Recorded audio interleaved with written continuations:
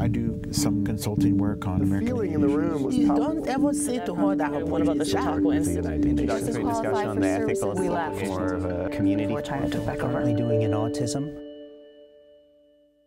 The UN is an imperfect but indispensable institution, and our challenge is to use it well and wisely. Those are the words of Gillian Sorensen, and she would know she's dedicated nearly 30 years of her life to the organization and remains its tireless advocate. She's held a number of positions during her extensive UN career, including Assistant Secretary General for External Affairs under Kofi Annan and Special Advisor for Public Policy under Boutros Boutros Ghali. She currently works as a senior advisor to the UN Foundation. We'll find out why she says a strong UN makes the U.S. safer, as well as why she thinks it's important for us to be active participants in the organization we created. Here's our conversation with Gillian Sorensen. Gillian Sorensen, welcome to the conversation. Thank you. Good to be here. I think most of us uh, know at least a little about the United Nations. It was started after World War II in 1945. Originally, there were 53 uh, member countries.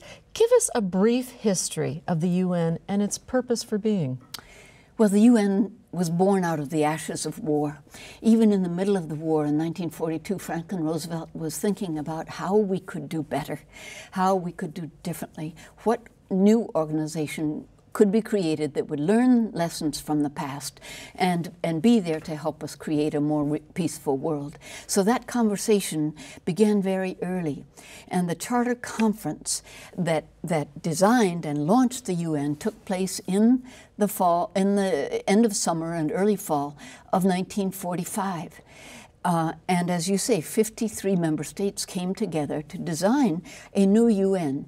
Its purpose was to join forces, to share the burden, the risk, the cost, the responsibility, and the benefits of cooperative action, um, and to come up with a way of working, not just on issues related to peace and security, but also to health, on health and human rights, uh, and other aspects of life that would create a better world.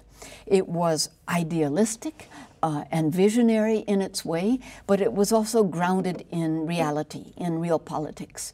Uh, and that's the genius of that original plan. Today, those 53 countries number 193. And it is universal. All the earth is represented. And that's what makes it truly unique. And for its first uh, almost 40 years, it was a completely bipartisan organization. What has happened in the last, mostly in the last decade, uh, that has made it such a controversial uh, organization? That is to say, though, in those first three decades, it did have bipartisan support in this country. Um, but then um, some began to uh, to, to say to describe it as an organization that was a threat to us or that required us to compromise. Well, yes, compromise and cooperation is part of joining with others to move us all forward uh, in a good direction. Um, I, I think they totally misunderstood and, uh, and, and almost demonized the UN in a way that was quite destructive. In the beginning, that came from the far edge. Uh, but it began to move into the more common discourse, even from some members of Congress or 60 members of Congress are what you might call anti-UN. I know, and that's very short-sighted. Look, whether we wish it or not, we're connected to the rest of the world. To miss the opportunity for global cooperation uh, is to cut ourselves short and isolate us. That doesn't serve our interests. Working with the UN, being an active, visible, and constructive member of the UN is in our national interest, our personal interest, our safety, our security, our health, our prosperity, our ability to travel and trade. Uh, and indeed our ability to lead in the world. Madeleine Albright, a former uh, ambassador to the UN, uh, said that uh, even superpowers need friends. Absolutely. We need friends, we need partners, we need the ability to build a coalition. And even if we wanted to do all the things that need doing, we couldn't do it alone and we shouldn't. This is a way um, to cooperate and to say to the rest of the world, we're in this together. The truth is, we are a, a, a, a strong power. We know that. But to share this effort uh, is the best possible way to build friendships and partnerships around the world. One of the most important things the, the UN is working on is the Millennium Development Goals, yes. which were established in 2000 a lot of the targets for those Millennium Goals, and there are eight of them, beginning with cutting uh, poverty in half, many of the targets were 2015. What's the status? How are we doing in terms of reaching those goals? Yes, I'm glad you bring that up because it's so important. For the first time, the Millennium Development Goals, obviously launched in the year 2000, defined what poverty is, what are the elements of this, and gave us, uh, uh, us, I mean the world, a, a point of reference, a common language to use when we talk about how do we reduce poverty which is the condition of over a billion people on earth. That means extreme poverty, dire poverty. A dollar a day. Yeah. And, and it talks about safe birth, beginning at the beginning, so to speak, clean water, uh, basic health care, primary education, at least up to sixth grades, uh, sixth grade, um, the empowerment of women, and so forth down the line. The last goal is to bring the, the developed or wealthier countries into it in terms of what they contribute, how they share their progress, how we literally join in reducing poverty on this earth. You're right, the target year is 2015. Now, will we have reached the goals? Clearly not. They are aspirational, they are the ideal and the goal out there. But um, they have had at at several points along the way an assessment analysis of how far we've come, of success stories, of how to duplicate that success here in another place there. It's been very, very useful. Now, 2015 is just Around in front of us, and then they will do an, a total summary of what progress has been made, and they will redefine it in some ways for the next well, we don't know, maybe the next 15 years, up to 2030. Um, the reduction of poverty is, a, is an ongoing uh, effort and process, but it's something we all need to join in. Reaching these goals is a priority for uh, member countries, and, and you mentioned 193. It's interesting, if you look at the United States, the United States ranks 34th in infant mortality. Yeah, yeah. And we should so, do better. We, we, we can do better. Uh, and certainly we have issues at home. I don't minimize that. But at least here we have a functioning government. We do have a safety net. We have homeless shelters. We have uh, uh, good hospitals. Um, we, we, have YWCAs and others that, that help and work with communities, and of course, many, many civic groups who do that. In other parts of the world, there is no safety net. There is no Medicare, no Social Security, none of that. So when people fall to the bottom level, they are really locked into a poverty trap. We often say there cannot really be peace without development, and there can't be peace and development with about, without human rights. So those three all connect. And it's an enormous challenge at home and even more overseas. So we need to lead and serve as a model if we can. You say we need to lead and serve as a model, and yet many of the treaties, many of them based on uh, on human rights, the uh, the human rights of children, for example, uh, many that have been drafted in part by the United States have not been signed or ratified by yes. the United States. You're right. There are uh, uh, more than 10 major treaties that have been drafted with the participation of American experts. They are in force. The su sufficient number of countries have signed on, but the U.S. does not sign. Now, why? To sign, uh, to ratify here, we need the signature of the President and two thirds vote in the Senate.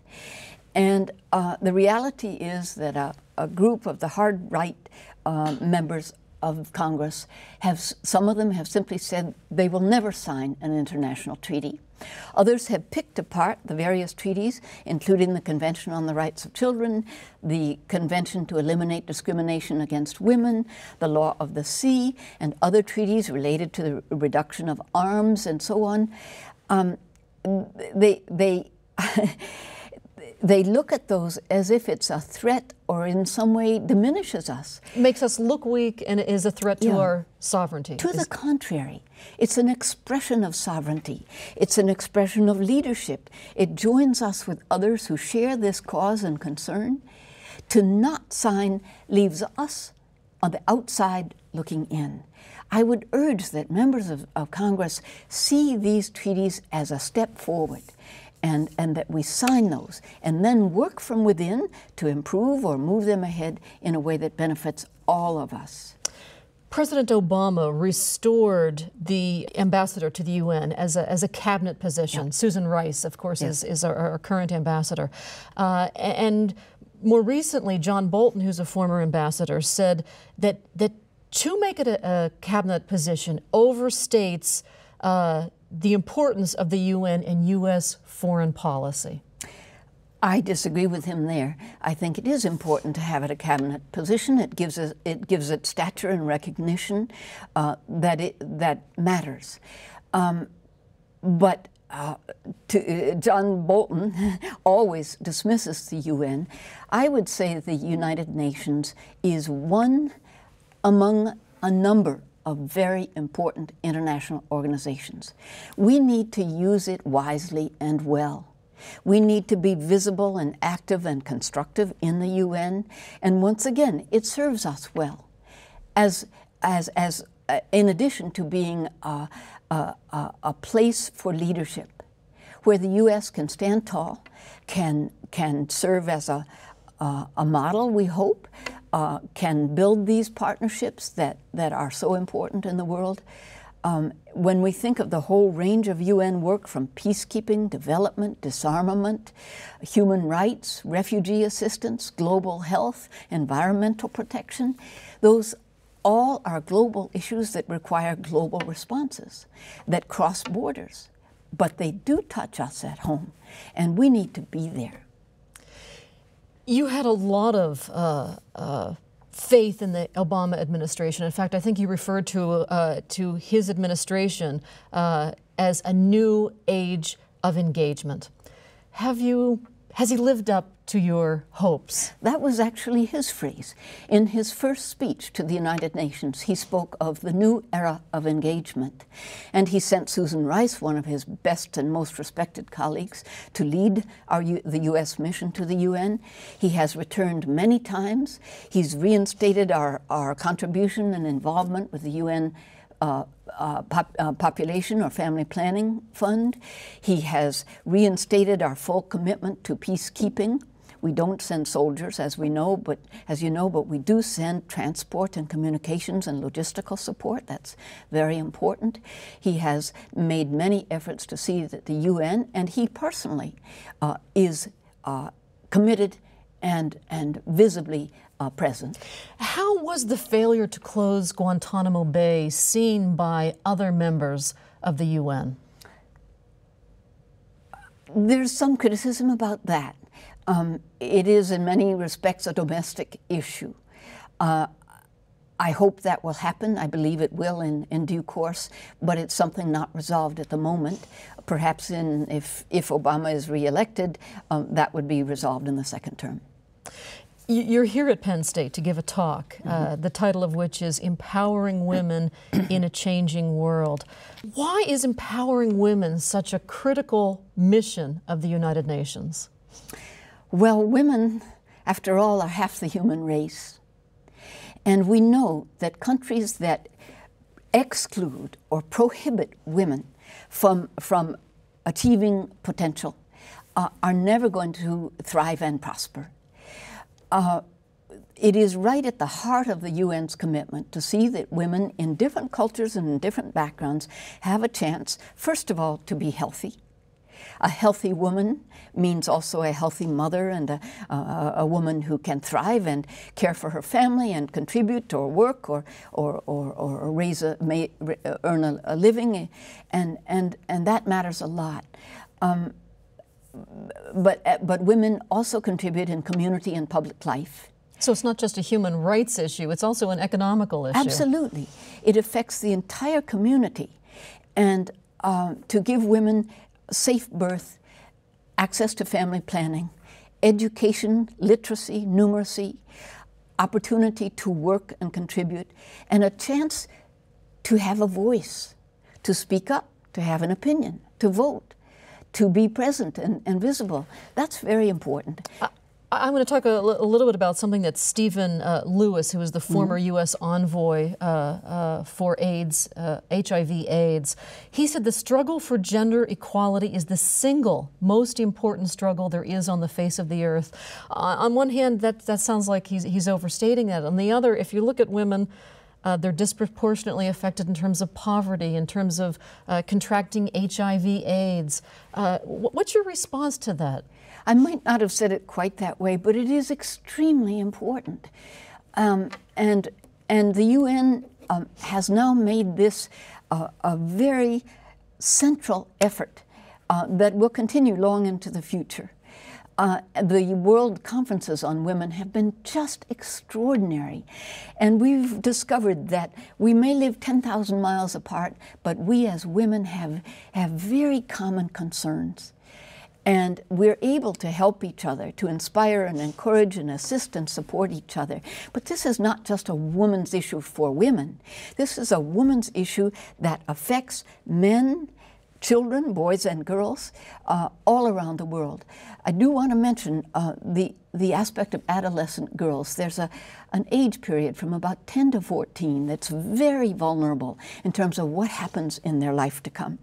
And, and there have been extraordinary efforts through the UN Foundation and the UN Association to strengthen, to give confidence and courage and, and, and support for adolescent girls as they move into the next uh, chapter of their lives. So, yes, it does matter a lot to families. Um, the issue of violence against women uh, is very key, um, and we hope that we can, uh, can, can make this uh, a commitment both from the top, from leaders around the world, but also from the grassroots and community groups of all kinds uh, to see how important this is. The risk of, of rape and domestic violence uh, worldwide is greater than cancer, motor vehicle accidents, war, and malaria combined. That to me is absolutely mind boggling. It is shocking. There is, of course, domestic violence. We know what that means. But there's another kind of violence that seems more prevalent now, and that's violence in war, which uses rape as a weapon. And that destroys not only the woman and the family, but the, the community. It splits the family. It's absolutely devastating. And that's got to stop. Rape is a crime. And too often the rapists have complete immunity. They don't see it as a crime, they're never prosecuted. That's got to stop. And the training of lawyers and the, the building of systems of justice around the world who understand that uh, is important. Women's safety uh, and their ability to, to step out, to be part of the community, to feel safe and respected uh, is extremely important. Beyond urging countries to take these issues up as, as priorities, what what muscle does the UN really have, uh, in other words, to make these Millennium Development Goals a reality? We can't force the issue. But the UN is the global forum. Everybody comes there. And we have some powerful and compelling speakers, backed up with the most persuasive statistics that you can find about why this is important if a society is to thrive. We can hold up these examples, we can exert some peer influence or, or pressure, if you want to call it that. We can uh, give uh, life stories that is, if I say 20 million refugees, that may be a number. But if you can tell a story about this family or that young girl or boy, that makes it live and breathe and, and come alive in a different way. We, we have a chance to persuade and inspire leaders to move in this direction and to do it collectively, together, to share what works uh, and to, to encourage us all to this end. One of the biggest criticisms of the UN is that it's overstaffed, it's overpaid. There, oh. there, there's one statistic that, that says that $3 billion in aid means $1 billion on the ground. Two thirds of it is siphoned off uh, by people who are, are taking money uh, that was really directed for humanitarian or, or other needs. How do we address that? First of all, it is certainly not overstaffed. When you consider what the United Nations is doing, all the things that I mentioned before, and that it is a global enterprise, it's not local um, the numbers doing this are actually very few. McDonald's has far more people around the world, more staff than does the United Nations. We only can do what we do with the partnerships of non governmental organizations, which are extraordinary, who join with us as our working partners. Now, is it overpaid? I don't think so. And we now have inspectors general on every aspect of the UN budget. Transparency and accountability are the byword. There may have been some misuse in the past. I think that's not happening now. We, we work on what I would call uh, a shoestring budget to do all that we do. And, and we try our very best to see that every dollar uh, is carefully used. To me, the U.S. contribution to the United Nations is a dollar well spent, and the return on that contribution comes back to us many times over.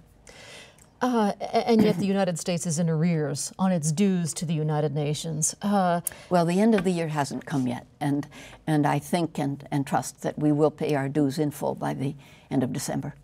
What, what impact does the, the discord between the U.S. and the UN have on the UN's ability to function properly? Well, remember, the U.S. is a very important member of the United Nations, but we are one of 193. The UN moves apace, moves forward as best it can under any circumstance.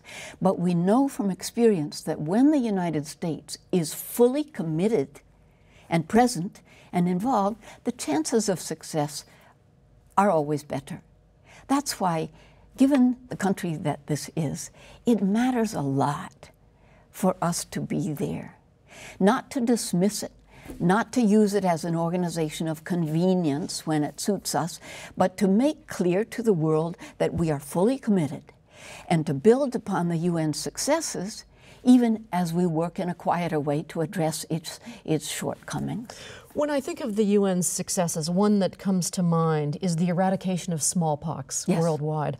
What do you, because you've actually seen face to face how the UN has affected lives, what do you see as the UN's proudest moments? Let me add to the eradication of smallpox, which was extraordinary. That was a global scourge.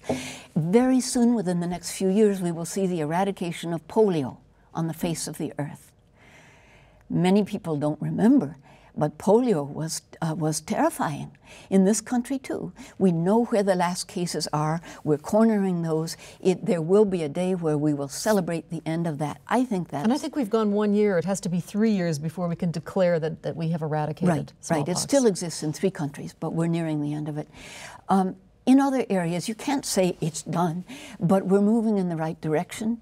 Uh, uh, in in our work, especially I think in in health um, in many ways, and safer birth and prenatal care and, and, and healthy children.